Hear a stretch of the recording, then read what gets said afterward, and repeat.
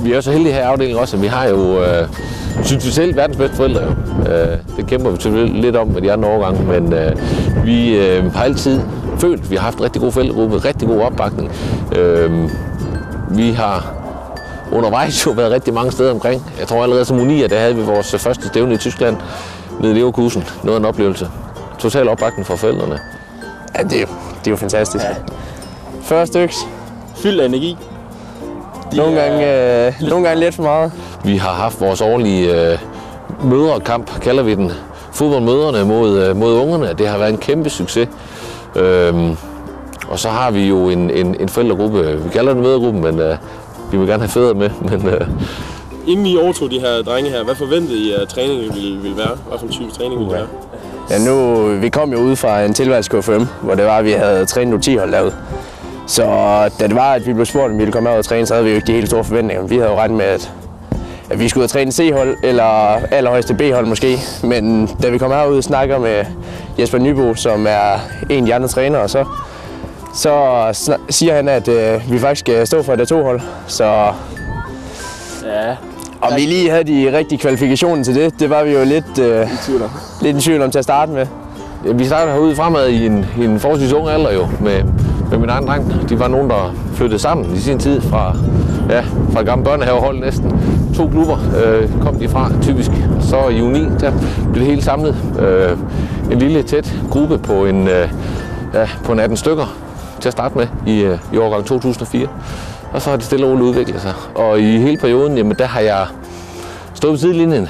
Øh, har involveret mig i, uh, i alt det, det lavpraktiske ved siden af, sådan at trænerne de har fået, kunne, uh, kunne få lidt ro til at bare være trænere. Fantastisk. Ja, er der. Fuldtændig. Ja. I kommet Jeg synes, det er, altså, de er nogle fantastiske drenge, og de er åbne for alt. Øh, og, øh, og de prøver, altså, hvis det er så, at det går lidt i koks, det som det er, at vi øh, prøver på, så tager de de sgu med et smil, og, øh, de, øh, og de ser ikke ned på os, eller noget sådan, det håber vi i hvert fald ikke, at de gør. Øh, men at øh, til at starte med, der var det nogle, nogle, nogle høje forventninger. Sådan, vi tænkte, okay, de er altså gode, dem her, i forhold til dem, som vi trænede før. Øh, så der skal vi altså lige planlægge noget før, end det er, at vi kommer og sådan noget. Øh, så, øh, så det gør vi også nu, og øh, det kører fint. Vi øh, har to A-trænere, og så har vi øh, to øh, unge hjælpetrænere, som primært tager sig af B-holdet i, i træningsregi. Og så er det, øh, og så er vi splittet sådan op, at øh, til når vi spiller turneringer, vi har nogle vinterturneringer, vi deltager i, der kører vi med to A-hold, og der har de unge trænere, de har så det ene A-hold, og vores øh, hovedtræner, øh, Steffen Max Jensen, øh, Jobbe, og, og så Jesper Nybo, de har det andet A-hold. Øh, og så Mark og Daniel, de kører med, med vores andet A-hold. Hvordan er det at arbejde sammen? Det er jo alligevel en del øh, folk, der skal snakke sammen og koordinere sådan noget. Hvordan synes du, det samarbejde det går? Det har altid fungeret rigtig godt. Øh, nu har det været nyt i år, øh, Siv 12, hvor vi har, har fået øh, Mark og Daniel på som, øh, som, som ekstra træner øh, fast. Det, øh, så det har vi lige skulle vende os til også. Øh, men det, det fungerer rigtig godt.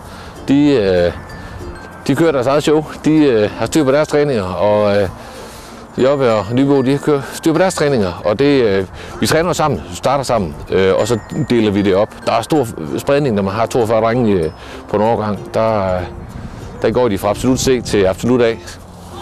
Drenge, hvilke muligheder giver han fremad for at blive, blive bedre træner? Drenge? Jamen, de, de giver os egentlig mange muligheder.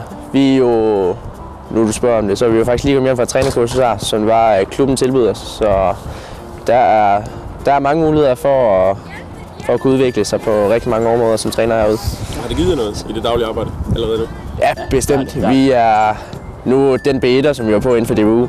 Det er jo, det er jo mest i trænerkursen ligger vægt på, at man lærer alt det basiske. Hvordan skal foden være, når man laver et indadsidsspark, lodret vredspark, halvliggende vredspark.